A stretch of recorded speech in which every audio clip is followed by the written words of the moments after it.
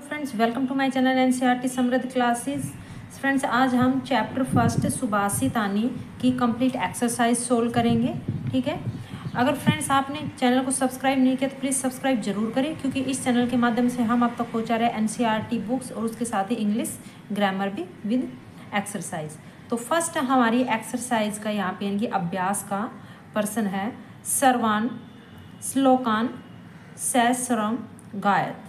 ठीक है? तो ये आपको स्वयं करना है कि जो जितने भी श्लोक दिए हुए हैं उसको आपको खुद गाना है कि खुद आपको उसको पढ़ना है रिवाइज करना है।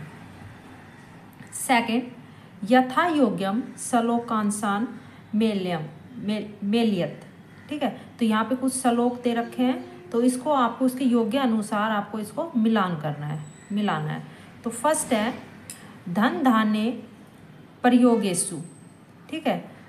तो इसका फ़र्स्ट का यहाँ पे आएगा विद्याय संग्रेसु चय, ठीक है? तो यहाँ पे मैंने इसके सीरियल नंबर डाल दिए one two three four five और जो इसका मैच है, कि मिलान है, वो इस साइड इसका आंसर है।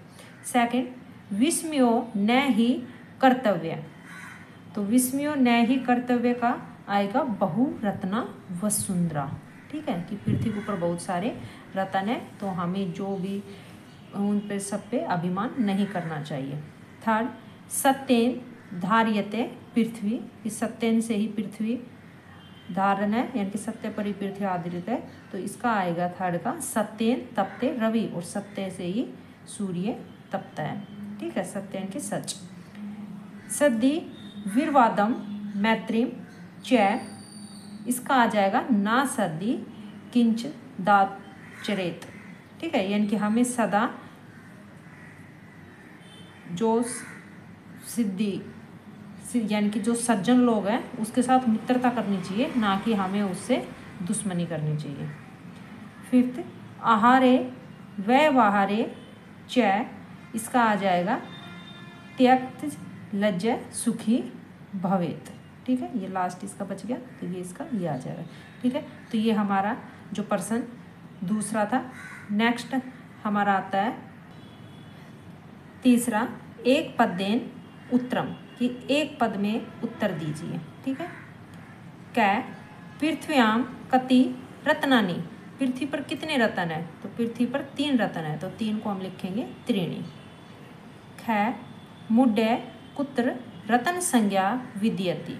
तो इसका आ जाएगा पाषाण खंडेशु, यानी कि जो मूर्ख व्यक्ति है, वो पत्थर के टुकड़ों को ही रतन समझता है। गै पृथ्वी के धारियते यदि पृथ्वी किस पर आधारित है या क्या धारण करती है तो इसका आएगा सत्यन, यानी कि सत्यन पर। गै गै, कै, सडंती, कुर्वित तो इसका आ जाएगा सद्दी ठीक है? लोक के वैश्विक कृत्य का, कि लोक में जो संसार में क्या है, जो लोगों को वैश्वीकरण जिसके द्वारा किया जा सकता है तो वो है क्षमा। तो इसका आंसर आ जाएगा क्षमा। ठीक है? नेक्स्ट है फोर्थ अगर आपने अध्याय का अनुवाद नहीं देखा है तो मैंने इंग्लिश हिंद सॉरी हिंदी के अंदर अनुवाद कर रखा है, आप मेरी वीडियो में देख सकते हो, पहले जो इसकी वीडियो है, वहाँ पे। चौथा है, रेखा खंडित पदानी अधिकृतम कृत्य प्रसन्न निर्माणम। कृत तो यहाँ पे जो रेखा खंडित किए गए हैं जहाँ जिसके नीचे लाइन की गई है तो उसको आपको पर्सन में बदलना है। ठीक है? तो क्या है? सत्यन वाती वायु। तो सत्यन के नीचे नीचे यहाँ पे लाइन है। तो क्या, सत्यन वाती वायु तो सत्यन की जगह क्या आ जाएगा? केन वाती वायु। ठीक है? खैर सदी एवं साहसित। सदी के नीचे अंडरलाइन तो सदी की जगह आ जाएगा। कै एवं साहसित ठीक है, हमें ये पर्सन बनाना है तो हम पर्सन वाले इसके अंदर शब्द लिखेंगे। गै वसुधरा बहुरत्ना भौती। तो आएगा, का बहुरत्ना बहुती यानी कि किस पर ज़्यादा जा बहु, रतन है। तो किस पे है? पृथ्वी पर बहुत ज़्यादा रतन है। गै विद्याया संग्रेसु, त्यक्त लज सुखी भवेद तो विद्याय की जगह क्या आ जाएगा? कैशा। सैदी, मैत्री, कुर्वित। मैत्री की जगह आ जाएगा किम, कि सैदी, किम, कुर्वित। ठीक है? अगला है हमारा पांचवा, परसना मूत्रानी लिखत। की पर्सन दिए हुए हैं, इसके हमें उत्तर लिखने हैं। क्या है उत्तर विस्मय न कर्तव्य। तो इसका आंसर आ जाएगा, बहुरत्ना वसुंधरा। ठीक है? ख पृथ्वी व्यायाम त्रीणी, रत्नानी, कानी, कि जो पृथ्वी पर कौन से तीन रत्न है? तो पहला है जलम, दूसरा अन्नम और तीसरा है सुभाषितनम ठीक है, यानी कि जल अन्न और मीठे वचन, यानी कि परवचन। ग, त्यक्त, लजय, कुत्र, सुखी, भवेत कि कौन सुखी रहता है? ठीक है तो क्या आएगा इसका आंसर? आहारे व्यहारे च सुखी भवेत। अगला है हमारा छठा।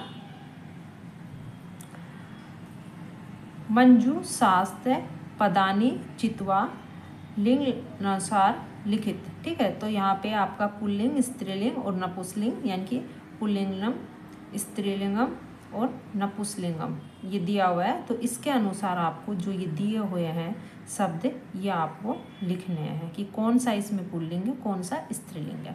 ठीक तो रत्नानी, वसुंधरा, सत्यन, सुखी, अन्नम, वही, रवि, पृथ्वी, संगतिम। ठीक है, इसके अंदर। तो पुल्लिंग में आ जाएगा सुखी, ठीक है, और वहिनी और रवि। ये तीन क्या है? पुल्लिंग शब्द है। अगला स्त्रीलिंग में वसुंधरा, पृथ्वी और संगतिम ठीक है? ये क्या है? स्त्रीलिंग शब्द है। और जो बच गए हमारे वो है नपुसलिंग शब्द, यानी कि रत्नानी, सत्यन, अन्नम। ठीक है? ये ना तो स्त्रीलिंग और ना ही पुल्लिंग, ये है नपुसलिंग अगला, सातवां। अधोलिखित पदेशु धातव्य के संति। यहाँ पे आपकी जो धातु दे रखी है। सॉरी इसमें पद दे रखे हैं। इसमें आपको धातु लिखनी है। कौन सी धातु ये? तो क्रोति, ठीक है? एक साइड ये पदम है। क्रोति, पश्य भवेत त्रिष्ठि तो क्रोति पदम की धातु है कृ, ठीक है? पश्य दृश भवेत भू और तष्ठी स्था, ठीक है? यानी कि स्था धातु का पद है ये दृष्टि भू धातु का पद है भवेत और द्रस पश्य और क्र का क्रोति ठीक है? तो ये हमारी जो अभ्यास था वो पूरा हो गया। अगर आपको वीडियो अच्छी लगी हो तो लाइक और शेयर ज़रूर करें। Thanks for watching my video